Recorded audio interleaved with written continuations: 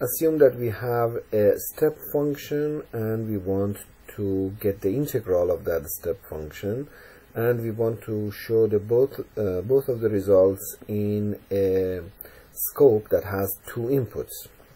Okay it's uh, very easy to drag and drop from the palette to the simulation panel and then connect the inputs.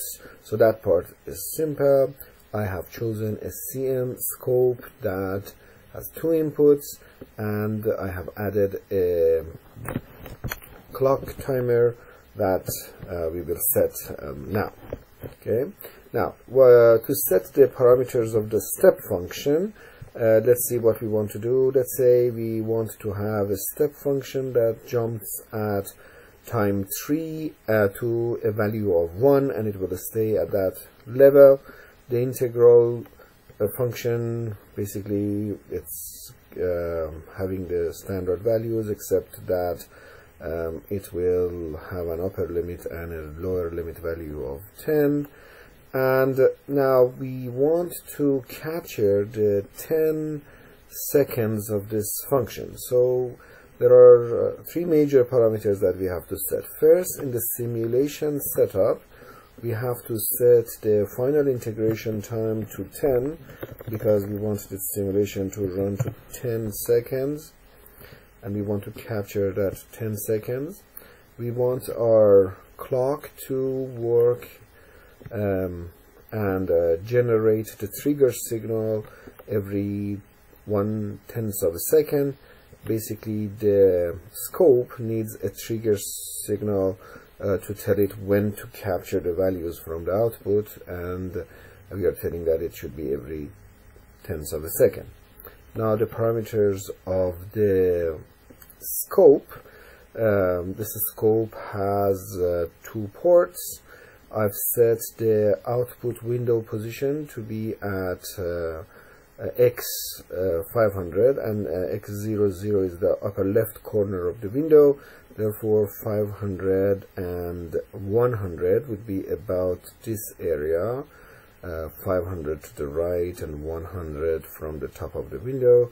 And the width uh, of the scope will be 300 and its height would be 600 because I'm going to see two signals in it now because of the settings that we saw here it's going to the step function is going to step to 1 and the integral function will have values of 1, 2, 3 at times after 1 second after time 3 when is the trigger of the uh, step function.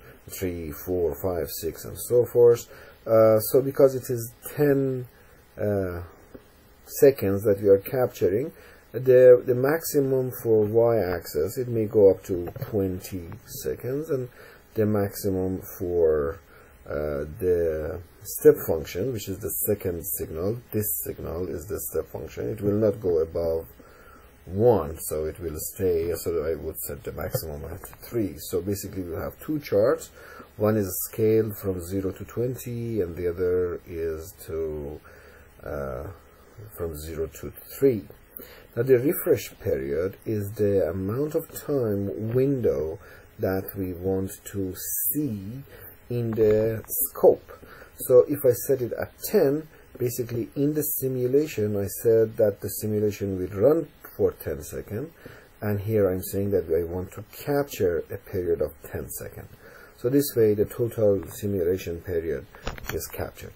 Now, if the refresh period here in the scope is smaller than the simulation period, then we would only, let's say if the simulation period would, would be set at 20 seconds, and the refresh period for all of each signal would be 10 seconds, then we would see the last 10 seconds of the simulation in our scope. So basically the refresh period is the last number of seconds that we want to see in the scope and after that it would be refreshed and refreshed and only the last 10 seconds would be shown. Okay, in this case we will see the whole simulation period. The buffer size should be long enough to capture all of the data, otherwise we would get a warning. Now let's run the simulation and see what happens. As you can see here, my step function jumped up at second 3 and it went to 1 because it was a step of 1 and my integrator started to increase because it's getting the integration of a step function. It's going to continue going up. In the last uh, seven seconds we got uh, to value 7 for the for the upper input of the uh, scope